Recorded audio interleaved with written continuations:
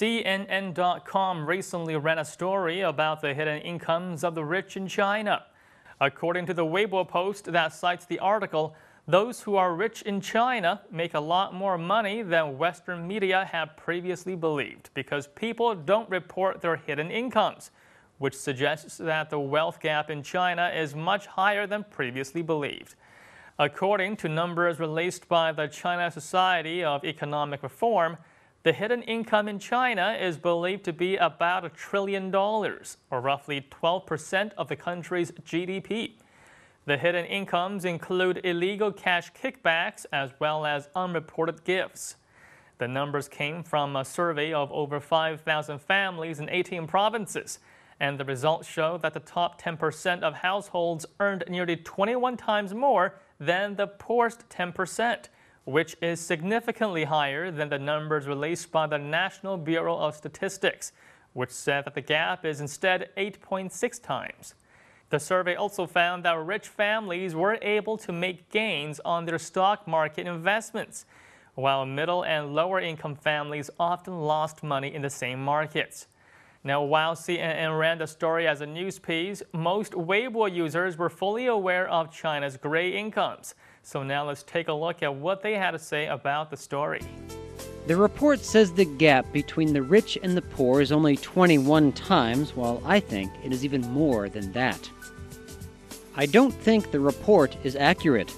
The report only takes into consideration the wealth of businessmen, but not politicians. If they included politicians, the gap must be over 100. CNN thinks that these wealthy Chinese earned their money from the stock market? What a big joke! Everybody knows the stock market in China is just one big scam. Maybe they made some money years ago, but today, unless there's insider trading, nobody makes money. At least the data released by the CNN article is more truthful than the numbers released by China's Bureau of Statistics. Statistics in China revealed by the authorities are never trustworthy, since they all belong to the same government organ whose overarching goal is to make the poor feel that things aren't as bad as they think. The numbers don't matter. What matters is the stuff behind the numbers. The rich in China can get away with murder, while the poor are left to be abused. What kind of future are we striving for? The income disparity between the rich and the poor is a very important social problem in China. Earlier this year, China had reported its Gini coefficient for income inequality for 2012. It was the first time that the country had done so in 12 years. A quick explanation of the Gini index is that it's a number scale from 0 to 1. A 0 stands for perfect equality, while 1 means that one person takes everything.